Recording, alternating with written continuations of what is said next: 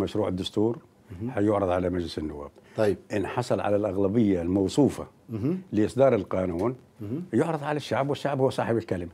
وإن لم يحصل على استحال الحصول على على على هذه الأغلبية إذا نحن لن نقف. لدينا إعلان دستوري قائم. ستعتمدون عليه. الإعلان الدستوري يفترض أن نعتمد عليه. هذا الإعلان الدستوري. لكن